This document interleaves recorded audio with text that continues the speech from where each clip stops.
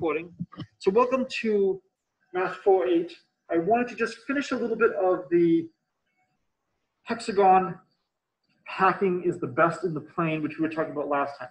And so we had this formula, 1 half A plus 1 half B plus 1 half C equals pi halves in a situation where there's really no text that's going on.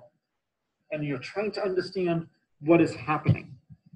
And so if we just quickly shift to here, if I take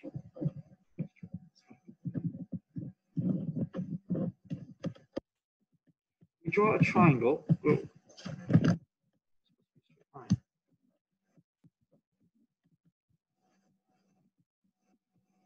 Here's a triangle.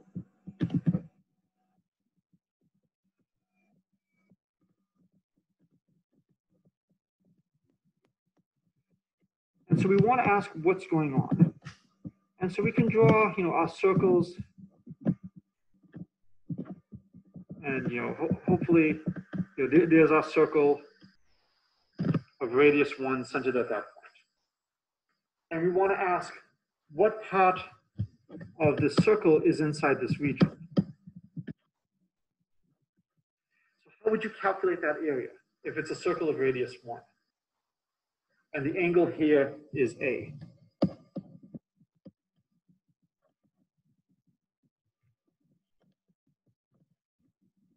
What would be the shaded area? I mean, I think so. We know that the area of the circle is pi r squared. So Yes. Pi. Yep. And then the sum of the angles of the circle is two pi. Well, I'm just saying, what's the area of the shaded amount? So it'd be a over a over two. So it would be A over 2. So it's pi r squared is the area of the whole circle times A over 2 pi would give us the fraction. And so we'll see the pi's cancel, and we get A halves times r squared. But r equals 1, so we get A over 2. And that is precisely the formula that they had in the paper. So if you look at it, each part of the circle is going to be in one and only one triangle. And so as we go through all of this, it is going to account for all the area of the circles.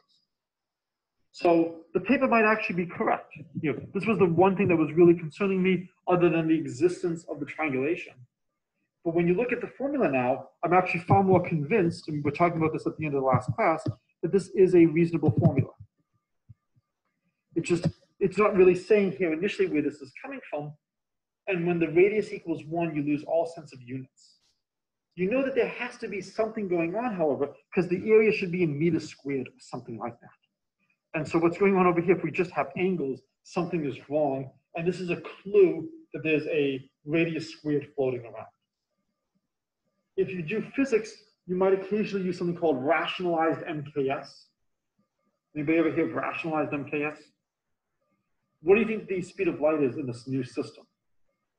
One. So you choose units so that the speed of light is one. Um, what's the gravity? Yes.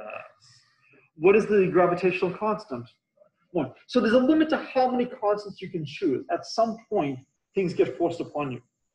Uh, As an aside, does anybody know which constant in physics is independent of the units? Fine the fine structure constant, which for a while people thought might be exactly 1 over 137, which is an interesting integer. Turns out it's not exactly 1 over 137. But this is where you look at you know, the ratio, like Planck's constant, the electric charge and whatnot. So all the units cancel. It's a unitless number that really does embed in it a lot of information about physics. Okay. And then in Zoom land, are you now able to see full screen on this? Excellent. And so what I want to do now is starting on Wednesday, there's no class on Monday because of Yom Kippur, is getting into you know the meat of the content. I want to do a little bit of motivation as to why do we care about packing spheres. I can make some arguments as to why we might care in two or three dimensions. It's a little bit harder to say why we care about packing in 24 or 500 dimensions. Anybody know where I gave this talk? Or when? Math, right? Math Fest, Okay. August 1st, Cincinnati, 2019, the nine and the one are flipped. so, what was the title of the talk? Yes. And when I submitted the talk, I actually submitted this as the title and I gave an abstract that was similarly, uh, Abstract. yes. And I was contacted by the AMS, or maybe it was the MAA, it was one of them, about um, all the typos in my abstract. And then a few minutes later, there was another email, oh, wait, I just saw the title of your talk. Ah, that was probably on purpose. So yes, yes, it was. Is it hard for you to fix this? No, there's a lot of things that humans can just naturally do without too much trouble. And so what I want to do now is, you know, so here is the correct title. Uh, as was remarked before class began, this is an old punch card. I do have some of these in my office, actually one of them. I am so glad we no longer have to program like that. So I want to try to give you a sense of why we care about these sphere patterns, about error detection, error correction codes. And there's a lot of things that are extremely simple ideas that have tremendous applications. All right, so just a couple of basics in cryptography. You know, imagine we're using five bits to represent numbers. So we can get all the letters from A to Z and have a little bit extra because we have 32. If you want a little bit more, you could do six bits, but then you're spending more information on most letters. You, know, you don't use that many capitals unless you need to really emphasize a point. So maybe you don't have to waste a lot of stuff with capitals, and maybe you just have a special five-digit bit which says whatever follows is a capital, or whatever follows is a special symbol. And if you use those sufficiently really, it's much better to just have most numbers five bits and not have six bits for everything. So if we can just send zeros and ones, we can send any message. And the goal is to transmit messages so that only the desired recipient can read it and that they can get the correct message. Related to this is you want to be able to transmit quickly and you want to be able to decode quickly. Those are other uh, interesting challenges. We're going to talk today about the last part, about ensuring that the correct message is received. I, uh, when I was giving this talk, somehow we were talking about Futurama, so I very quickly adjusted my slides on the fly to include this. Has anybody ever seen Futurama? Okay, so it's by the makers of The Simpsons, but with far more math jokes. And they go to incredible lengths. One of my colleagues actually wrote a paper based on the mind body changing episode. Uh, and you know, I might include some stuff about that later. This is an episode where Bender is inheriting a house from a haunted member of his family, and at one point they see these numbers in blood. And they ask Bender, what does this mean? He I have no idea. Later in the episode, he sees the numbers in a mirror and he starts running away in horror.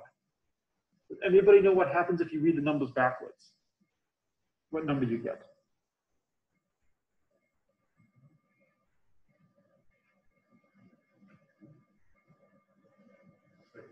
You get 666. You get the number of the beast, the number of the devil, written in blood in binary backwards. Very few shows will go to this length to make a math joke. But it was originally read backwards and so wasn't concerned. How many of you have ever seen RSA, which for years was the gold standard of encryption? Okay, so just briefly, you take two primes, and the premise of RSA is that it's hard to factor integers. It's easy to check if a factorization is right. And so you take two primes P and Q, and you take some number D, and you make public the product PQ, and you choose a number E such that ED has a remainder of one when you divide by P minus one, Q minus one. And P minus one, Q minus one is the number of numbers less than PQ that are relatively prime to PQ. And it turns out, using just some basic algebra, if you take a message M that is less than N, you raise it to the eth power and send out mod N, you get the following. And if you raise that to the dth power and look at it mod N, you get back the original message. It's a really nice application of Fermat's little theorem. Uh, some nice basic algebra results. It is very unlikely if you choose P and Q to be 200 digit numbers, that your message will have a common factor within. So there's a couple things you have to worry about, but in practice, not at all. Imagine you receive one bit off. And again, I'm not doing bits, I'm doing digits just to make it a little bit easier for us to read. And I receive an eight rather than a seven. If we try to decrypt it, there's almost no relation. So in a lot of the standard alphabet codes, if you just switch a letter, if you're wrong in one place, you still have most of the message. But here, it's all mixed together, and one small mistake means you can't understand what's going on. So this just hopefully shows you how important it is that we make sure that there are no errors. Because even one small error is enough to completely get things off. Now we have two digits right. You know, we have the one in the same spot and the zero. Are you surprised that we have two digits right?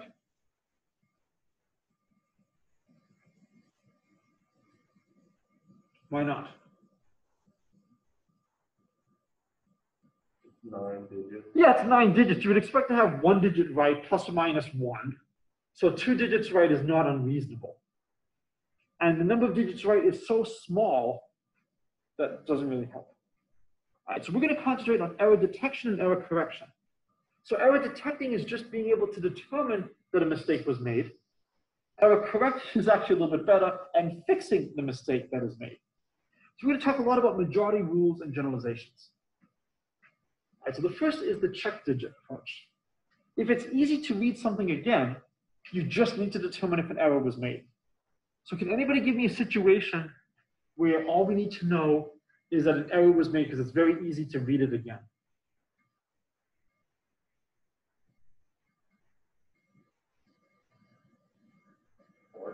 Barcode. So if you go to a supermarket and they scan, and you know it was supposed to be you know two ninety nine, and it comes up you know three thousand dollars. You know it's clear that they didn't scan it right, they didn't read it right.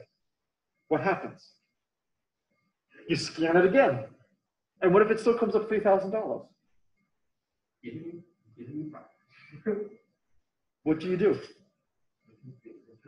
I'm sorry. Nope. So you know the cashier tries again, and it's still scanning incorrectly. You manually enter. It's like, ah, screw this. Let me just you know, punch it in. And in a situation like that, you just need to detect that the error was done. Most of the time, it's going to be fine. Every now and then, beep. Okay, let me try beep. All right, just enter. Any Seinfeld fans here? Uh, do you know the episode The Opposite?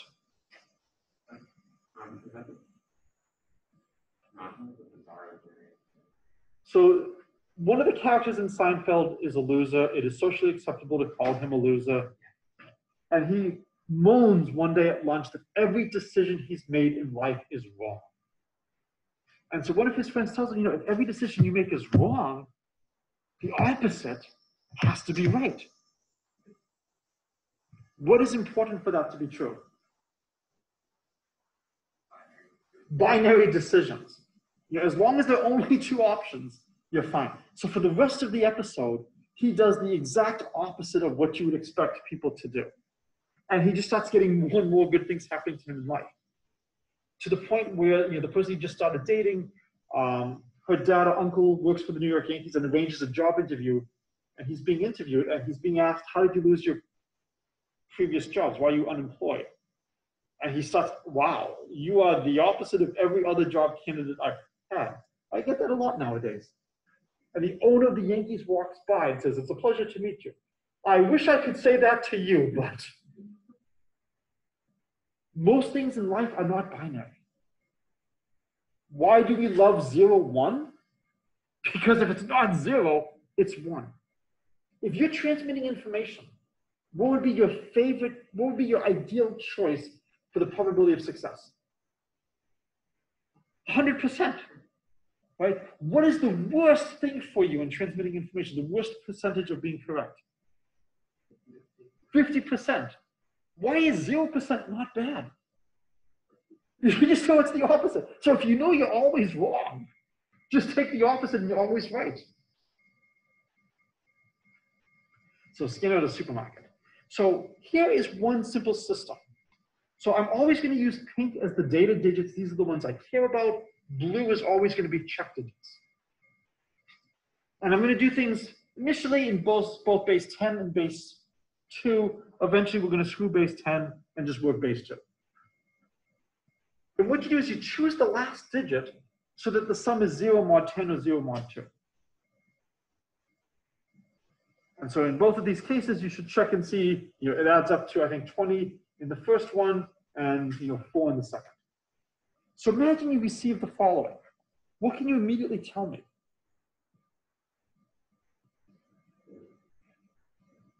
There's an error. Where is the error? Uh, second row somewhere because it doesn't add up to a multiple of two. What about the first row? Also an error. Now, if you look at this, it was 913439 So it turns out it's the two here that's wrong, but we have no way of knowing that. For the second one, it should have ended with a one, it's ending with a zero. This time it's the check digit that's wrong.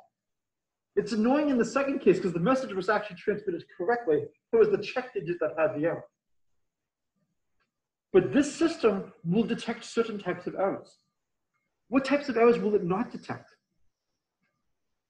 Yes, if you have two errors, and if you switch two digits.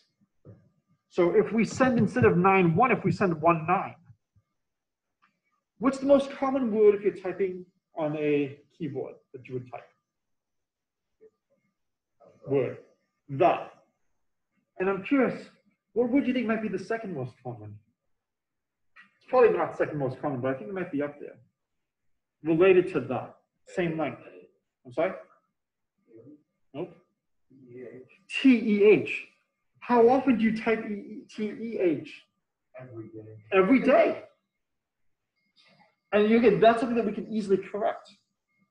Um, it's fascinating when you look at how spell check or autocorrect works on things. Um, at this time, I'll give some stories afterwards. So, yes. You did like a matrix of this, or like have another bottom row. Would it work for isolating it? Right, so we will talk about how to try to isolate where the error is. Right now, we're just detecting. And so if you're a scanner in the supermarket, it's enough to detect. If you're a submarine commander, you need more than just detect. You need to be able to correct. You can't come back up and get the message again. You have to, you can't radio headquarters and say, I didn't get the message, can you resend it? Here's where your position. Or if you're downloading a very large file, you don't want to have the whole file download and then realize that one of the packets was corrupted and you have to do the whole thing again because it doesn't work. Okay, so there's more involved algorithms. There's the Verhoeff algorithm, which is worth looking at, and I'll post the slides, which actually allows you to detect some transposition errors as well. And so depending on how much math you use, you can actually detect a large number of different types of errors. But again, it's not enough for us to really detect where the error is. We want to correct it. So the simplest solution uh, for detecting is to tell me twice. And you make a promise, I will never send anything other than 1, 1 or 0, 0. So if you receive 0, 1, what must be true? Has to be an error. What if you receive 1, 1? Might be an error. The hope is that the probability of an error is sufficiently low that the chance of making two errors is small enough that, okay, I'm almost 100% convinced I meant 1, 1. If your probability of a successful transmission is like 99.9999%, then you get very, very confident. It's not certainty, but you can be extremely confident. So a lot of this is related to majority rules. So the tell me three times the text and probably corrects an error. So we promise we are only going to send 111 and 000. We will never send anything else. How many possible messages could we have sent with three bits? Eight. How many are we allowing us to send? Only two. That's all, so only 25% of the possible messages are now available to us. Is this a huge loss? Sometimes. Sometimes it, well, so one of the things I'm trying to get all of my classes this year to understand is the relativity of size of numbers. It's always in comparison to what? and speed of light. And so my physics text in, in high school talked about how the results of special relativity seem unreasonable and counterintuitive, but you have to remember most people don't have experience traveling at three quarters the speed of light. I like the use of the word most. I'm wondering who actually does have experience traveling at three quarters the speed of light. Uh, in my COVID class today, I was talking about some data about some very energetic cosmic rays, and it had the physical value in the units, and I had absolutely no understanding of is this strong. But the writer said to give you some sense, imagine you have a lead shield running from the sun to Pluto, it would travel through that without any issue. Okay, I have some idea now of how energetic this is. 25%. If you're on Williams campus right now and I decrease your net speed by 25%, would you really notice? What get by seventy-five percent? Twenty-five.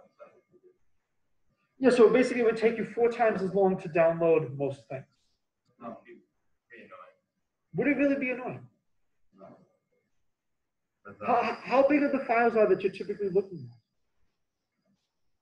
You know, if you're getting, you know, 200 megabytes per second or more, That's true, I guess in that case. and then you're going down to 50 megabytes per second, which is equivalent to just making the file, you know, four times larger, you're not going to really notice it on small files.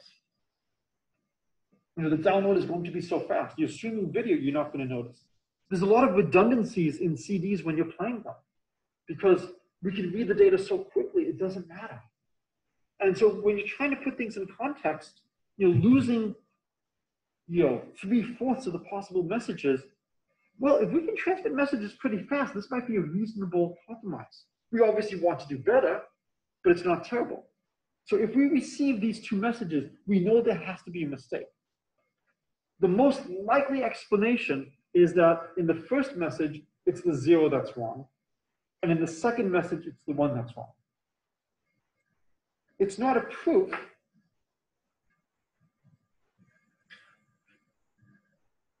Does anybody have any thoughts as to why we're talking about this in a class on sphere packing?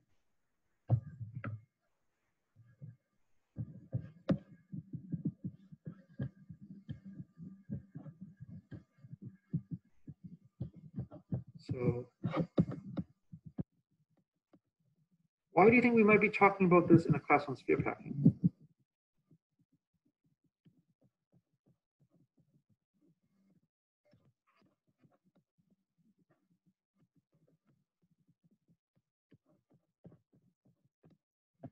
So we have, say, the message 111 all the way up here.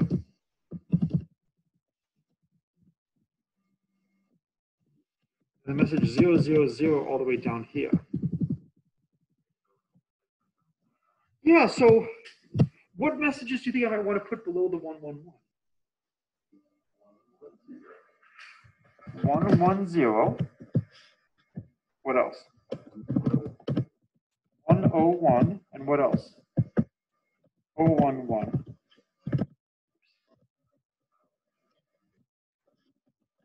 And now down here, what should I put over here?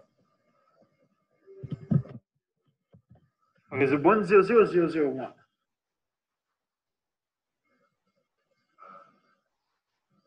one zero zero.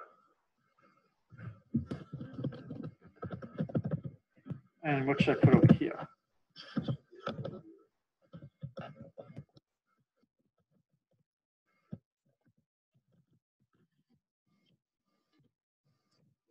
And so we can, we need to decide what metric to use. So this is something we've talked about several times already. That depending on how you choose to measure distances, you'll have different geometries. How should we measure how far apart two points are?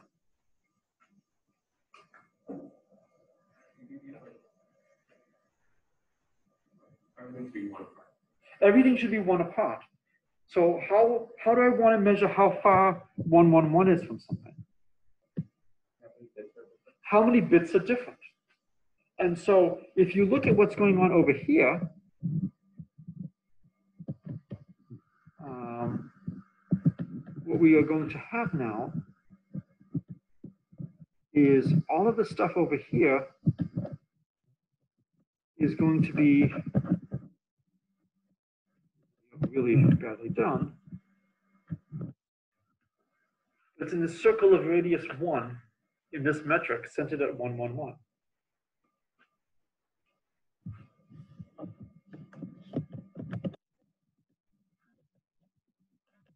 did not copy it.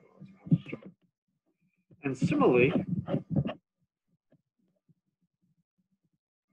all of the stuff over here will be one unit from zero, zero, zero. And so I hope you can begin to see the sphere pattern. That we're choosing certain key bits of data, streams of data to be our center. And we've now partitioned the space into two sets. Everything is within one unit of one of our key code words, or is the key code word itself. And so I'm, I'm hoping this is giving you some sense of why we care about sphere patterns. Just because it's such a fun example, and I know one of the slides should excite at least three people in here, two of whom are not myself, I will continue. Okay. So it's crucial that we use this binary outcomes, and these are the clips from the Seinfeld episode that I was mentioning. Some of them may not be appropriate to show in class, but so I will just leave the link for you to watch. We, I'm sorry? Um, I did not necessarily show the clips. I just mentioned the existence of the clips. So one of the problems with the tell me three times is only one third of our message, or only, only one third of our bits are actually messages.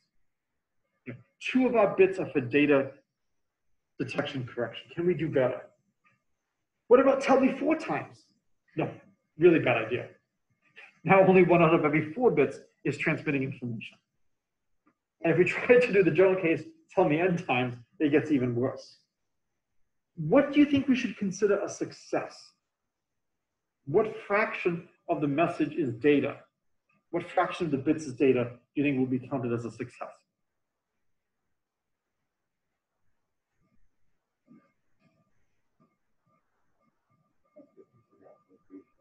Yeah, if you set the success too high, we're not going to be successful. It also depends on like how likely you want it. To be. Right, and so there's going to be trade-offs. But as a rule of thumb, if you want something to be a candidate, what should the success rate be? It should be at least at least a half, or better than a half. It should break 50%. You know, more than half of the digits should actually be conveying information and not just doing these powder chunks. So we'll count greater than 50% will be a success. So I want to revisit tell me three times. I want to really highlight the geometry. The reason I want to do this is when we get to 24 dimensional space, I have no chance in hell of drawing anything that is even reasonable geometrically. In small dimensions, I can do that and try to just give you some sense of how to look at things. And I'm going to try to show you different ways of looking at things. So here, you know, these were the same digit as this. So if this was a one, both of these were one. If I go it like this now, if this is a one and this is a one, that means this row sums to zero. And this column sums to zero. So this is another way to view what we're doing. We're putting in two check digits, very similar to what we did with the scanner. And now each row must be zero mod two and each column must be zero mod two.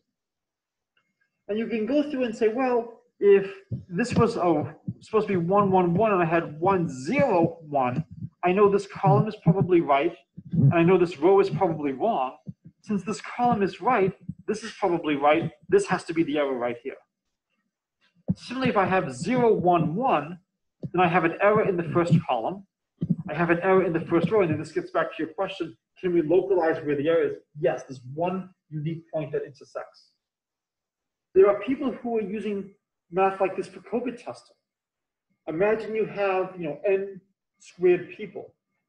You form an n by n grid, and you test everybody in row n. That costs n tests. And you basically take their body material and you just put it together. And you test everybody in each of the n columns, and that's another n tests. If only one person is infected, then two tests come back positive, and you know column and you know row, and you can uniquely determine the individual. If there's more than one person infected, you might get more people as candidates, and maybe they don't all have it, but now you have a much smaller pool of people. And a lot of countries adopted strategies like this to cheaply test. When most people are testing negative, it's very expensive. Uh, anybody know a situation where people are willing to spend the money and test everybody individually? Yeah, Williams College, right? This is what we're doing. I did my weekly COVID test, you know, a few moments ago. Um, I will know sometime in the next 24 to 48 hours if it was safe for me to come and teach you guys today. I'll try to update you on that. All right. So what if we try to do two bits of data? I could arrange it like this. And I have my two pink data digits, and I have three check digits. And you can go through the calculation and you can see if this pink digit here is wrong, I'm going to get an error in the row and I'm going to get an error in the column. And I've got 50%. Nope. 40%. It's better than third. If I did more columns, could I get it as close to 50% as I want? The problem is the length then grows. And so to get it close to 50%, I'm doing it at the cost of having an incredibly long string of data and check digits. And the more of these I have, the more likely it is that I now have two errors. So while this will move us closer to 50%, it will do so in a bad way. So the question is, what should we try next? Squares. Any other shapes? We'll get to triangles. We've already had this battle in this class, the square versus the triangle. Right? Who won in the plane? Triangle. Any, uh, there might be giant fans here who can play Triangle Man later, okay? So here's two different ways of doing.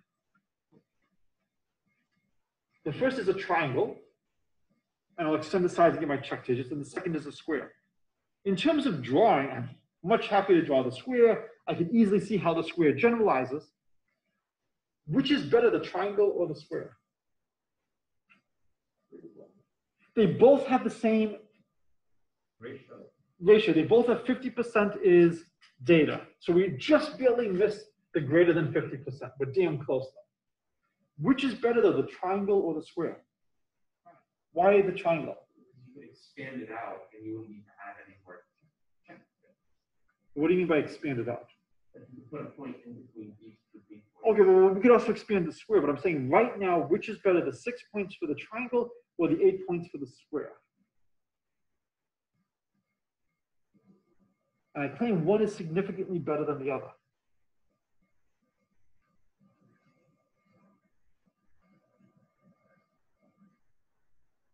What's the advantage of the triangle over the square?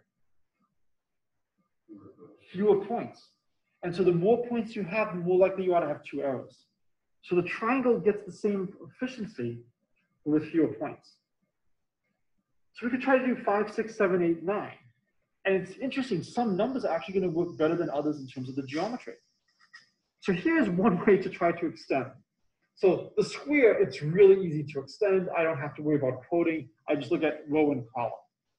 For the triangles, I extended to a nice triangle like this. Here are my lines. And then I put one new point over here, and I have it as the check digit for those three. And if you notice now, every data point is on exactly two lines. Every check digit is on exactly one line. The point that's floating is on one line. Both give 60%, but the triangle does it with fewer. There's a better way of doing the triangle.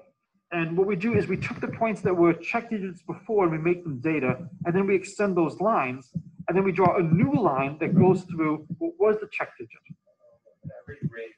And then you can keep going like this. So I don't know anybody who's actually really pushed stuff like this further. There's better ways than doing this. But what I like is I've actually given this talk all the way down to elementary school where you can really talk to the kids about the geometries. It's much easier to work with the square, but you can't keep extending the triangle. And you can look and see how efficient is it going to be. You know, we have a nice formula for the triangle numbers. Uh, the nth one is just n, n plus one over two. And you can see that uh, the total bits that become information is n over n plus two. And the square gives you the same thing, it just takes more points to do it. So you can get as high of a percentage as you want, but at the cost of using more and more digits, so it becomes more and more likely to have multiple errors. So is there a better geometry to use? You've already said the answer.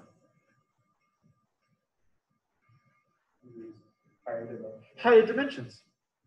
So we could use cubes. So if we do a two by two cube, that's gonna be eight data points. Three by three by three would be 27. And what I can do now is I can do my check digits. You know, I'll do my check digits will be essentially, you know, one color for each plane. So I'll have the orange, the blue, the white, the yellow, the red, the green. If this piece is wrong, then there'll be three check digits that come out wrong, the blue, the orange, and the white. And then that means it has to be this one over here. And you can keep going through and saying, you know, what would happen in all the different cases. Over here, we'll have also planes coming through. The check digit would be the one in the middle. Right, so if you wanted over here, you could actually view this as your check digit. Is it possible to just have the orange and the white check digits wrong? on the two by two by two, no. On the three by three by three, yes, if this one over here is wrong, only the orange and the white would turn out to be wrong. And on the two by two by two, we actually get 57% with 14 points. The three by three by three, we get 75%. For six by six square, it's also 75%. Um, but for the triangle, uh, T7 gives you 77.78% with, you know, twenty-eight out of thirty-six instead of twenty-seven out of thirty-six. So the triangle is just barely beating it, but not going to be beating it for much longer. Uh, if you go a little bit higher, you can start comparing, you know, with a four by four by four, we're getting about eighty-four percent with seventy-six bits. The nine by nine square is eighty-one percent with ninety-nine. The uh, triangle is eighty-three percent, and that's with seventy-nine. So you're getting a lower percent of data with more points. So already the four by four by four is enough to do better. Any other shapes we could use? The dodecahedron. And so, you know, the fraction is n squared of n squared plus three. We use the dodecahedron, we could use the tetrahedron, and you could start asking, well, what's going on over here? And which points are going to be your checkpoints and whatnot?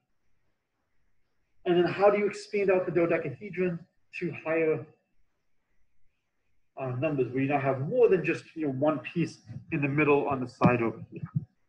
But you can calculate what your efficiencies would be for all of these. What I want to do for the last couple of minutes is turn to Hamming codes now. And so it is possible to send a message with seven bits with four bits of data. And will allow you to correct one error. So a lot of the stuff in the subject is called Hamming. He was an extremely influential researcher, I believe at Bell Labs. And the story is that he was low man on the totem pole. And so his punch cards were saved to the weekend to run. And he would come back on Monday and see that it ran 16 lines before it found a mistake. And then a couple of days later, it gets to run again and does another maybe 22 lines before it gets to a mistake. And with the language cleaned up, it was, gee, I wonder why the computer is so good at detecting an error has been made and not so good at correcting. Maybe there could be some way to help the computer.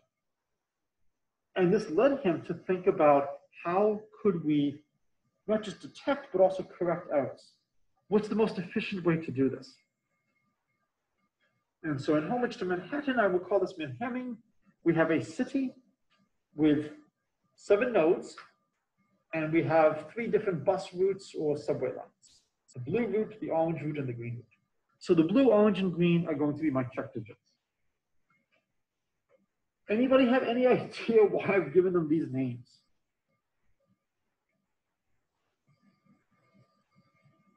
Always ask, why are you naming them as they are?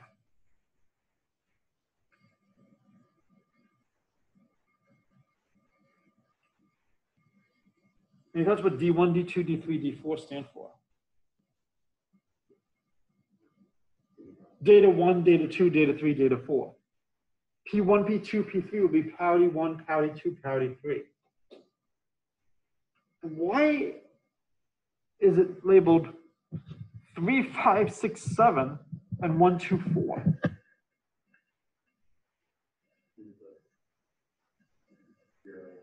Yeah. These are the powers of two. I'm using the powers of two as my parity points. So if I, what do you think would be the next natural place to go up to? This is going up to seven points. 15. And that things are going to be nice up to powers of two. And so what you could do is you can go through and just check if there are no errors, everything is correct, that's great. If everything is wrong, uh, it's got to be D4.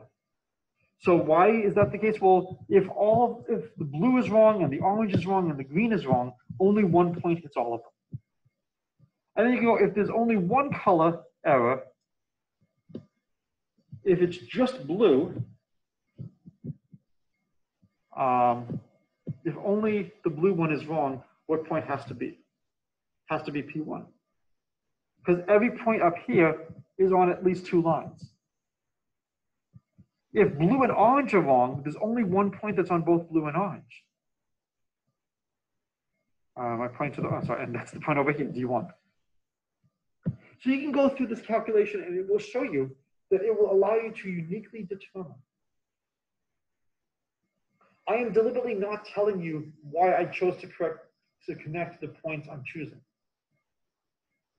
I will leave this, you don't have to write this up, but I will leave this as a puzzle for you to think, why am I choosing to connect P1 to 3, to 5, and 7, but not to 6? It works, but why was that choice made? So I will let you think about that as to why is this the case? And I want to try to do this as much as possible, is not to give you all the answers, but to try to give you some interesting questions to think about. And then if you had to push it further, what would you do as you add that new point? You know, imagine you wanted to transmit around 4,000 bits of data. We can look at the corresponding Hamming code, the square, the cube, not even bothering with the triangle. They all are phenomenal. Okay, yeah, the square is only around 97%, the Hamming code is around 99.7%. 99.7% is better, but at this point, so much of your message is data that it's not a huge hit anymore. We're not talking on the order of 2%. And so sometimes the simpler method is actually better to do because the efficiency is already so good that we don't really need to do anything better. How many of you have a phenomenal ear for music? Or how many of you, if you just hear anything on the standard CD player, you're not going to hear the difference between that and the deluxe Supermastery? I would put myself in that category. And so you want to ask sometimes, you know, is it really needed? Here's one of the really great ideas in the subject. It's called interleaving. So imagine we have a string of zeros and ones that we want to transmit, and there's a burst of noise, a localized burst of noise, say a solar flare. The problem is we assume that errors are independent and that you know it's unlikely to have you know two errors in quick succession. And so we'll transmit, say, in blocks of four. But now, if there is this burst, you're now more likely to have multiple errors in a block. And so the assumption that the errors are independent is violated. Any thoughts on how you can get around this?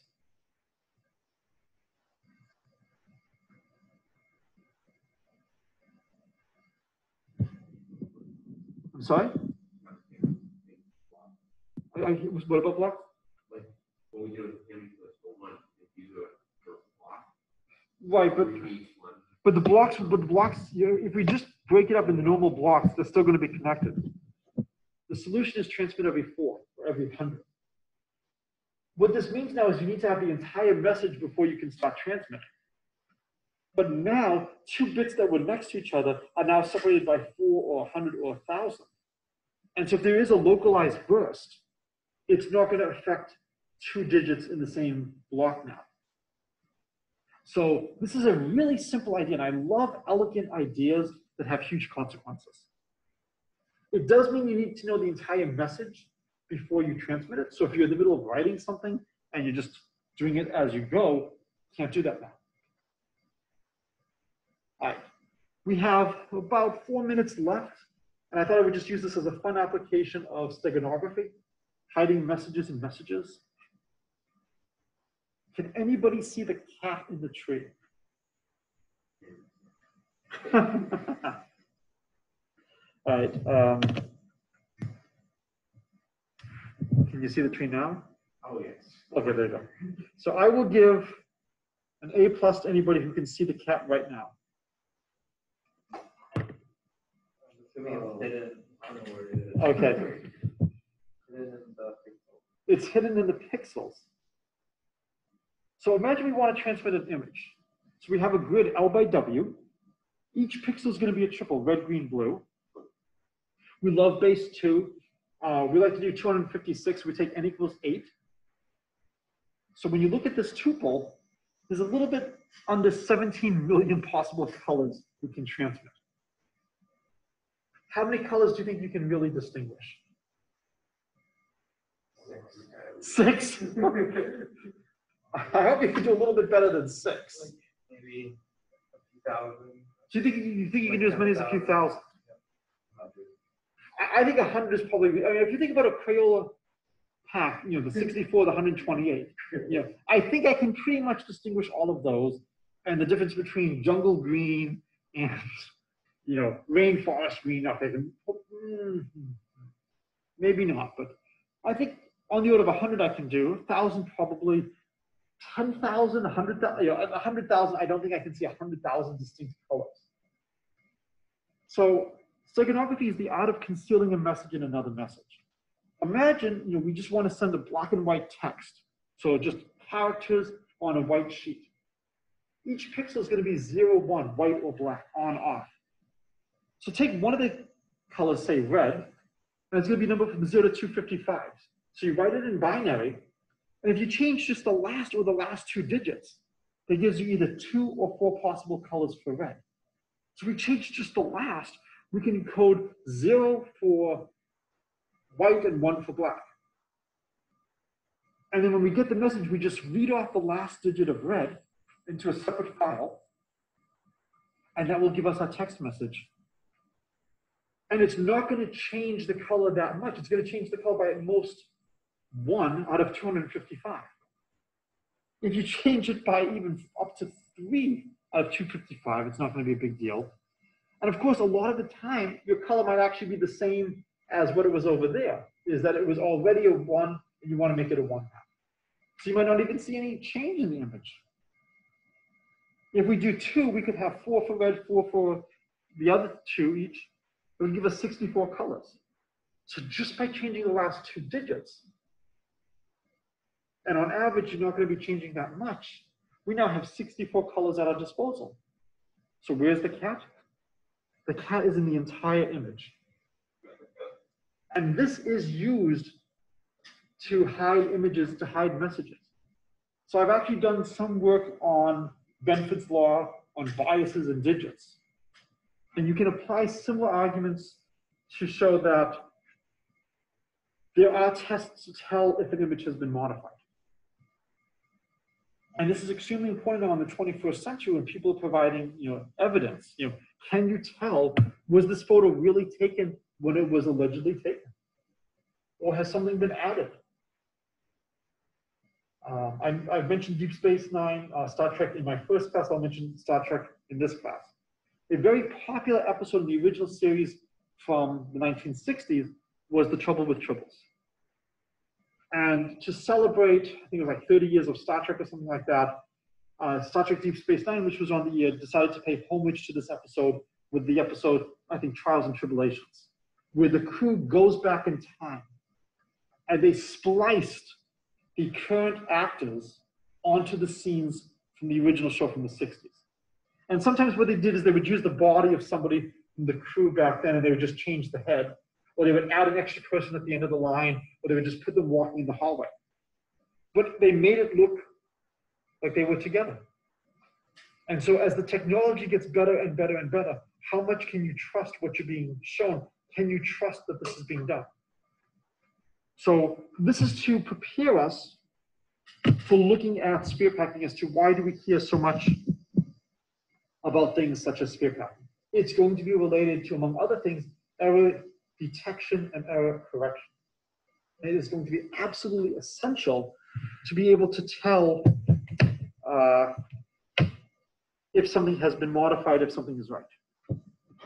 All right, so I am going to stop the recording.